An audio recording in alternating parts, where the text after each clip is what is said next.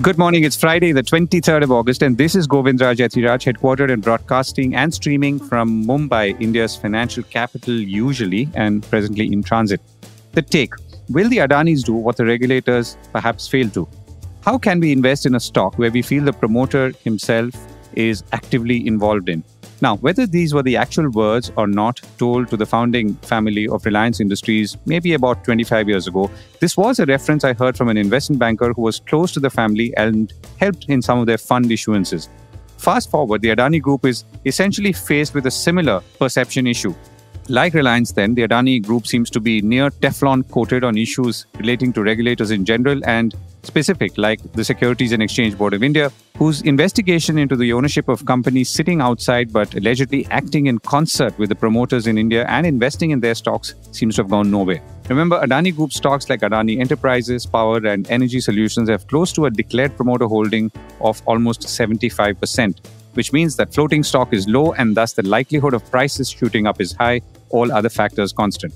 A few weeks ago, Hindenburg Research, the New York based short seller, released a fresh set of posers targeting this time the SEBI chairperson Madhabi Puri Buch and questioned her impartiality given that there were some distinct links between her own past and private career investments and some Adani funds.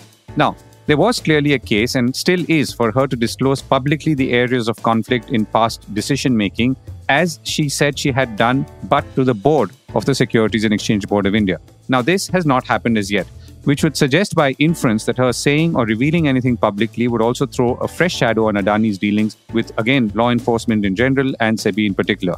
But all this evident clout, even if for good reason, is not helping the Adani's image and actually only makes it worse. With each subsequent shot Hindenburg has fired, Adani's reputation in the eyes of institutional and other investors has undoubtedly slipped further.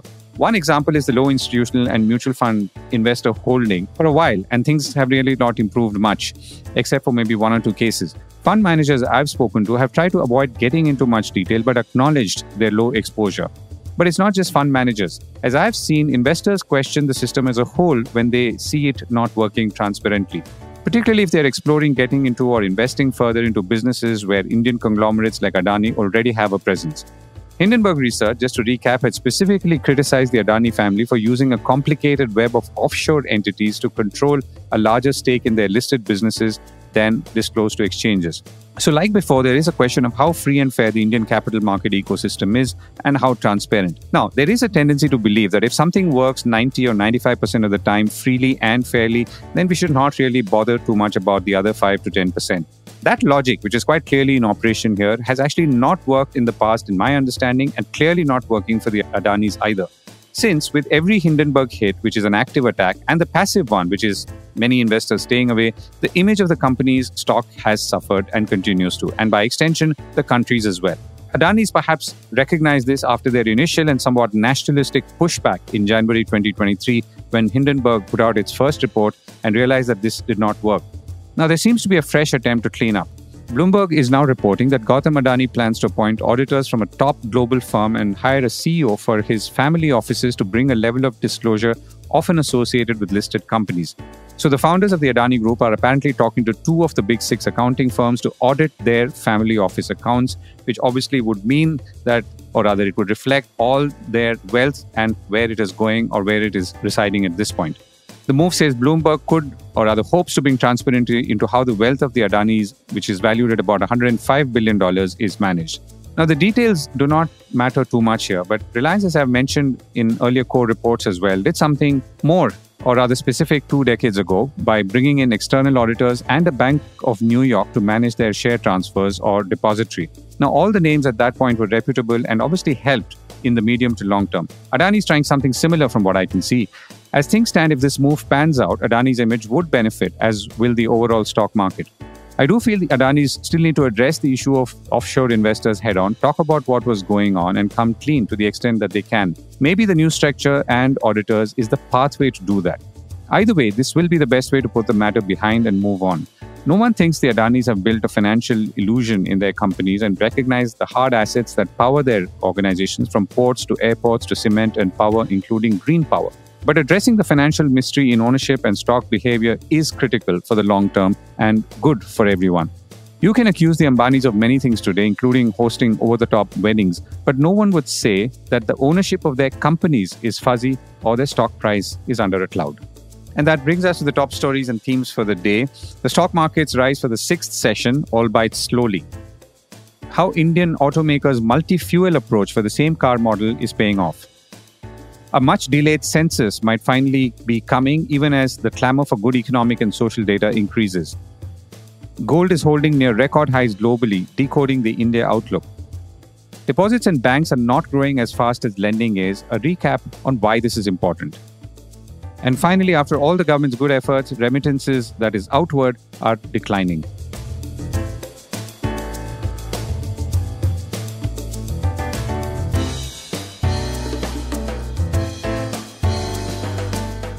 This is a core report with Govindraj Ethiraj. The markets gain for six sessions now. A Federal Reserve cut is the big signal that stock markets are once again focused on world over. While the markets did not shoot up in India and stayed range bound, they continue to advance, although slowly. Both benchmarks have logged gains for six sessions in a row, adding about 3% each, according to Reuters. The BSE benchmark index ended at 81,053 on Thursday, up 148 points, while the NSE Nifty 50 closed with gains of 41 points at 24,812. The broad markets were stronger with the mid and small cap indices doing well. The small cap seems to have hit a record high, and the mid cap and the small cap added 0.67% and 0.5% respectively.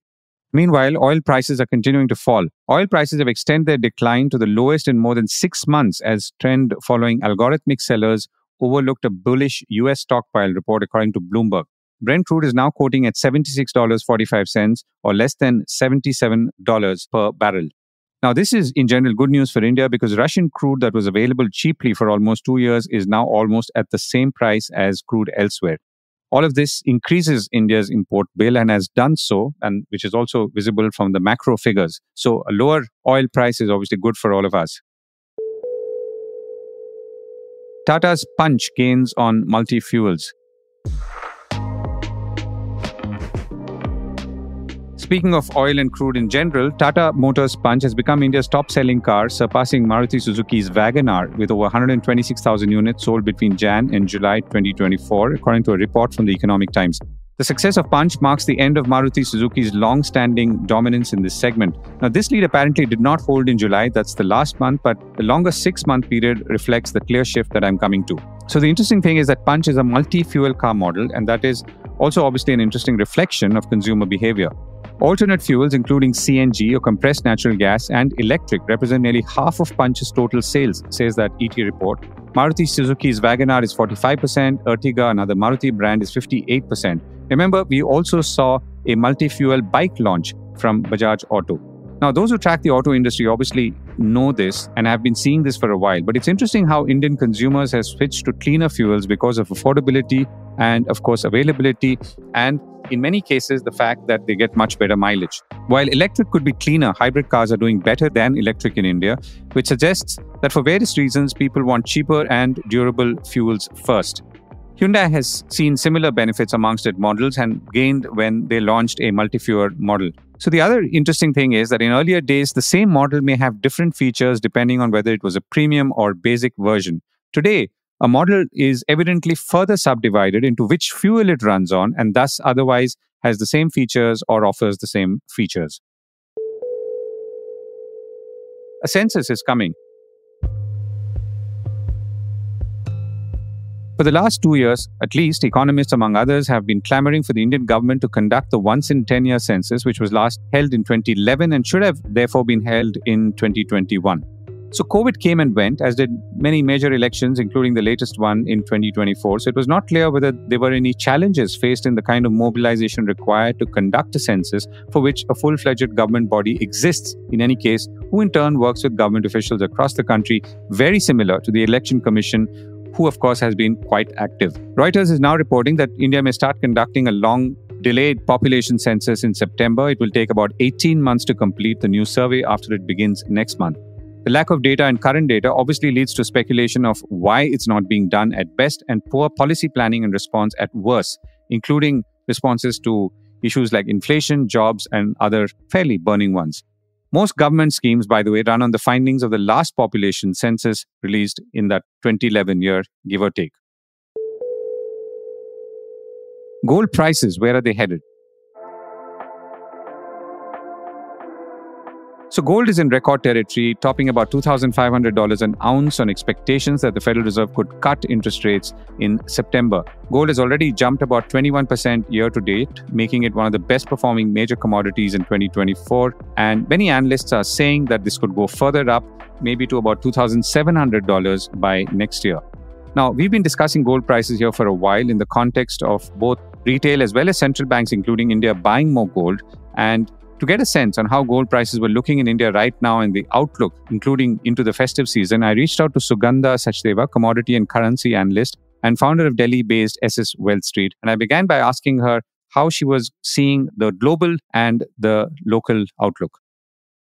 So, if you see gold prices, they have been one of the major performing assets this year, having gained more than 20% so far this year. It's majorly the safe haven demand which has ignited strong returns and demand for gold this year. It's the tensions that we have seen in the Middle East and the Russia Ukraine war is also going on. And besides this, central banks have been loading up gold into their reserves. And besides this, the expectations of rate cut by the US Fed this year, it's going to be the start of monetary easing cycle by the US Fed. So that's a key catalyst which is driving gold prices. Apart from that, the Indian rupee depreciation that has also acted as a major tailwind for gold prices. Even though on the domestic scenario, we are not seeing gold prices at record highs right now, but in the international market, prices are very close to the record highs of in spot gold. We have seen highs of around $25, 30 per ounce mark. So as of now, the Fed recent minutes have kind of confirmed the fact there were a lot of bets that Fed is going to start its monetary easing cycle in September. And Fed minutes have shown that policymakers are quite inclined towards that. And there is going to be 25 basis rate cut in September. There's high probability as of now. And so rate cuts are on the horizon. And we also anticipate that Fed is going to cut rate at its three further meetings this year in 2024. So in all, we are anticipating a rate cut of around 75 basis point to 100 basis point this year. So this is in a way very positive trigger for gold prices because gold doesn't pay any interest. So whenever interest rates are lowered, it kind of reduces the opportunity cost of holding gold. Besides this, a rate cut is also a signal that growth is kind of receding in US. There are growth concerns. Apart from that, the US payrolls data has also been revised lower recently as per the recent data. So for the year ending March 2024, so the jobs have been revised lower by 820k. So this is signaling a softness in the labor market in US. So these are all very positive triggers for gold prices, and that's the reason we have seen gold prices staying quite buoyant. Apart from that, central banks have been loading onto gold, and we are also seeing physical demand also coming back in India after the recent import duty cut by the government. So, in all, we anticipate that in the last quarter of this year, because of the festival demand and also because of the import duty cut, because of which we have seen a sharp cut in prices also the demand is going to increase significantly. So all of these factors are kind of driving gold prices as of now. Right. So if I were to come to India specifically, how are you seeing the demand and supply forces and what's really either pushing it up or down at this point? So forces of demand are basically strong central bank buying, geopolitical tensions, as I mentioned, and the prospects of rate cut by the US Fed. However, on the negative side, we also see certain factors which are playing out at the moment. China has not been loading on to gold right now. In fact, Chinese demand has declined almost 24% in July. And in June also, the demand fell by around 58%. Chinese central bank was one of the major factors which was driving prices last year and this year also. But then for last couple of months, China has not been amassing gold significantly. Besides this, the geopolitical tensions in the Middle East are also kind of easing. So that could also play out and can kind of can be a slight dampener for prices. Apart from this, markets would be looking forward to further policy signals from the Jackson Hole symposium this week, where Fed is chair is about to give further insights into the rate cut path and may also talk about the quantum of rate cuts this year. So that will also have an impact on gold prices. So we do see that overall trend in gold is very positive, but then in the domestic markets, if I talk about specifically, I see a strong hurdle in place at 72,300 odd levels. In case that hurdle is convincingly breached, we see further rally in gold prices. However, in case that is not breached, there can be some dip in prices, and we see prices finding floor at levels of 70,500 odd levels. In the international markets also, I foresee that prices will consolidate for a while between 2450 to 2520, where 2520 mark is acting as a strong resistance area as of now. Only if that is breached, further momentum is likely in near term. Otherwise, some consolidation is quite likely in prices. Right. So, if you were to look at uh, gold prices in India before customs duties were reduced in the budget in July and today, how would you describe, let's say, the elasticity or the nature of demand? I mean, or the propensity to buy or consume more? I think at higher prices, Indian demand had also reduced. If we look at the recent data, in the April to June quarter, demand fell by around 5% in India. However, as per the latest reports by World Gold Council, this drop in prices is likely to entice a lot of buying interest. And in the last quarter of this year, 50 tons additional demand is likely to come in. But rather, we anticipate slightly more demand as we have spoken to certain jewelers also and people who are selling gold physical bars as well. So demand is likely to pick up significantly. So I think demand by the end of this year is likely to pick up and we see demand at healthy 850 to 900 tons. So this was the steepest cut in import duty on record and the lowest since June 2013. So I think this is certainly likely to entice a lot of buying in gold. Right. That's a good note to end on. Sugandha, thank you so much for joining me. Thank you so much. Why are banks struggling for deposits? The Finance Minister of India said last week that banks should do more to raise deposits, including offering innovative products and perhaps higher interest rates as well, since they had the leeway. The looming problem, if it can be called that, is that the gap between lending and deposits has shrunk and now to levels both the Finance Minister and the Reserve Bank of India governor have repeatedly called uncomfortable. The Finance Minister pointed out that deposit growth has been lagging credit growth in India by 3 to 4% in recent months. So, one reason for all of this is that people are putting money into mutual funds, real estate, or stock markets instead of putting them into fixed deposits, and there could be other reasons as well. So, I reached out to economist Dr. Brinda Jagirdar and I asked her to recap what was happening and why this was important in the larger macroeconomic context of borrowing and lending. One of the reasons for slower deposit growth, deposit growth lagging credit growth, of course, is that the overall household savings, which is about 60% of the total savings in the country, this has come down now, the share of overall household savings eh, as a percentage of GDP is about 18.4%, according to the NSSO data in 2023. This against 22.7% in FY21 and an overall 10 year average of 20%.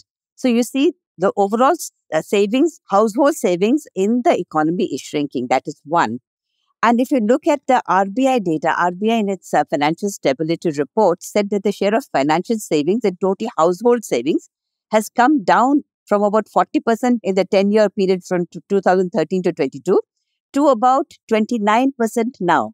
So you see, household savings are shrinking, and within that, the financial savings are shrinking. So this is getting reflected in the trend of deposit and advances growth in the economy. Deposit growth, if you take this whole financial year, has been lagging. The rate of growth of deposits has been lower than the rate of growth of advances for all scheduled commercial banks.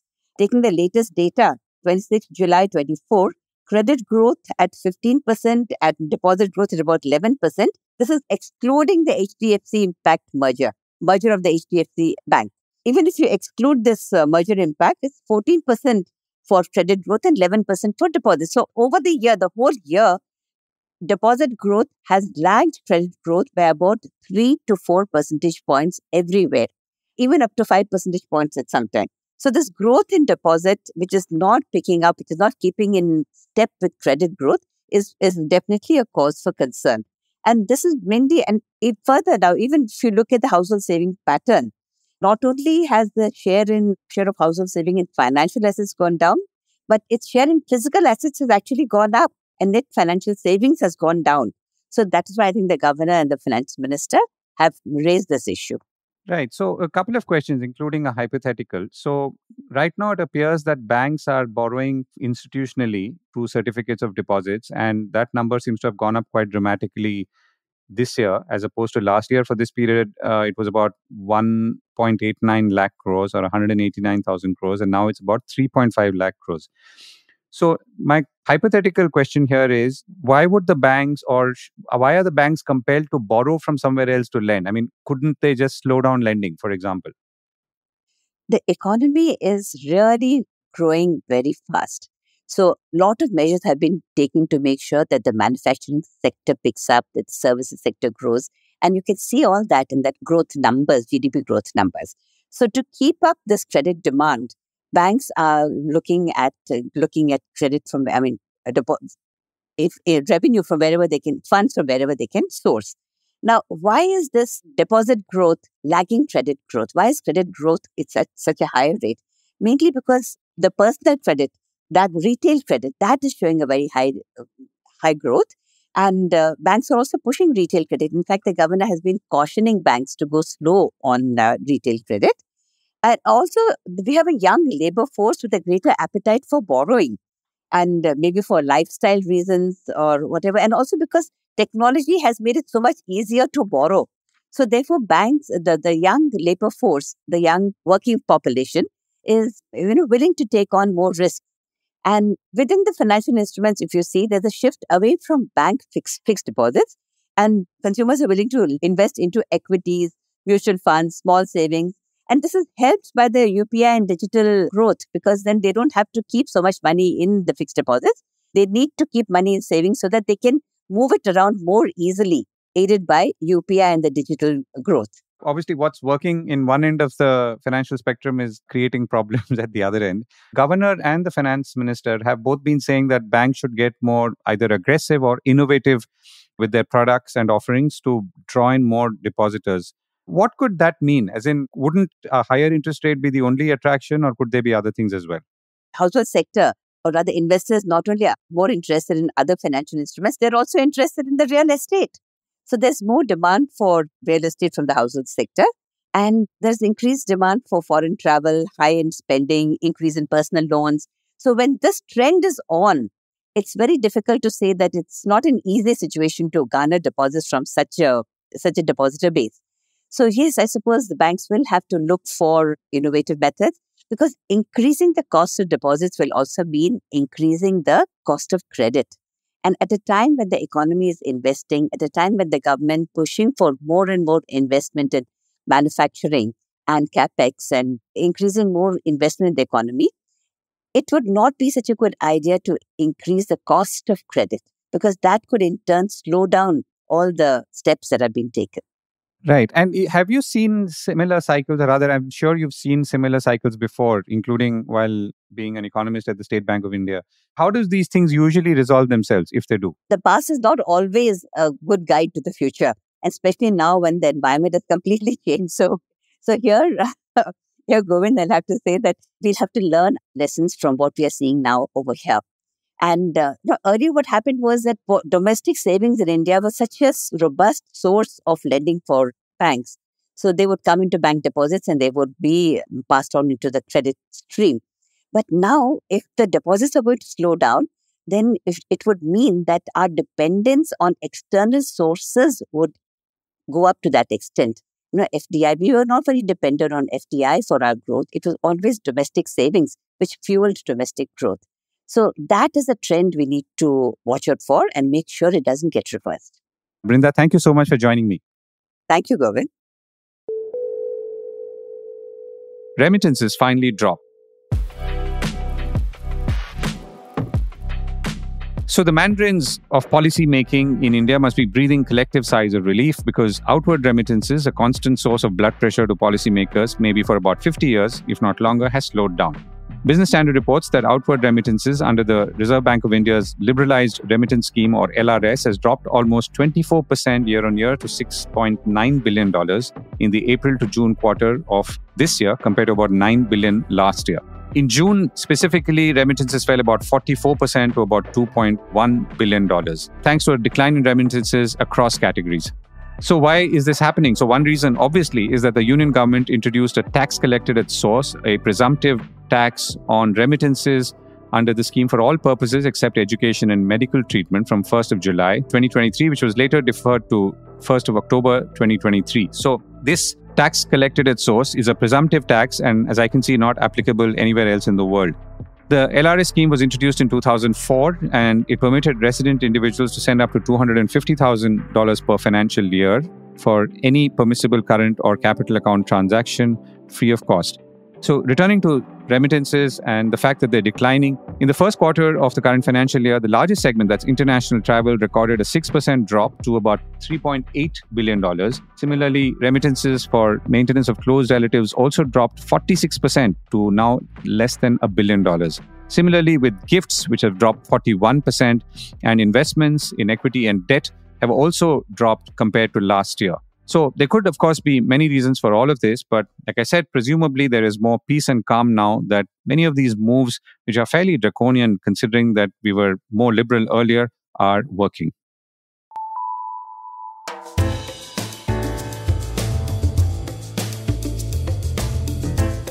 That was the core report with me, Govindraj Ethiraj. Do stay connected with more of our coverage at the core. You can check out our website or sign up to our newsletter for our exclusive stories, one in depth feature a day on www.thecore.in. Do also track us on LinkedIn, where we usually post synopses or extracts of our top stories and interviews. We would love your feedback on how we can make business more interesting and relevant, including, of course, India's vibrant manufacturing sector. So write to us at feedback at thecore.in and thank you once again for listening.